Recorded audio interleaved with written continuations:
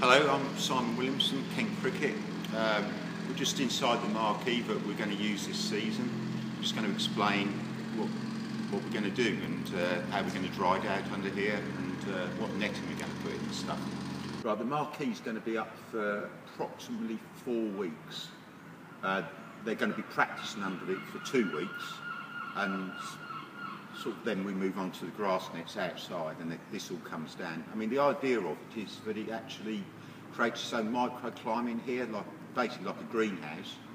But with a greenhouse, you rely on one factor, and that's the sun. So once we get that, that's going to dry this out very, very quickly, and then the players will be out here, and that's it. There, where they go. We found at first, because it's a new concept to us, but um, we wasn't drying it out in here quick enough. Um, so what we've done, we took some of the sides off to let the wind flow uh, get through, and it seems now that it's, uh, it's actually working and drying it out. But we can, we can actually get the rollers in here, and we can actually work in the rain, which is, is really good. Um, so hopefully when the players come back, we can actually get them in here, weather permitting, think we can dry it out, and uh, they can, away they go.